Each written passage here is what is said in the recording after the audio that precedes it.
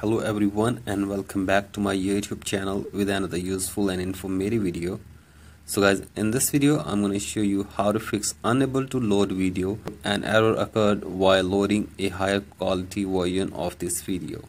So guys if you're trying to view any video or see any video in your iphone but you're facing this problem here i will show you how can you fix it. So guys for that you have to simply go back to your home screen and now open settings in your device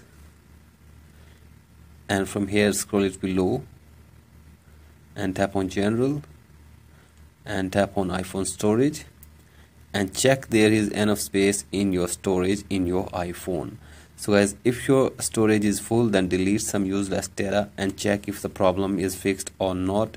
And if you are still facing this problem then go back and force restart your device for one time. So I simply press and release the volume up button and then down button and keep holding the power button until your device force restarts.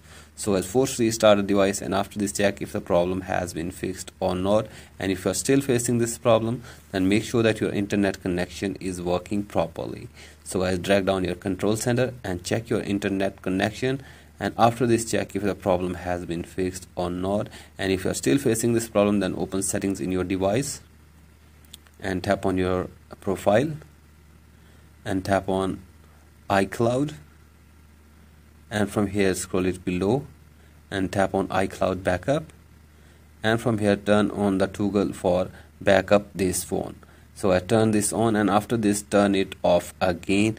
And hopefully after this your problem will be fixed. So guys that's it for today's video. Hope this video helps you.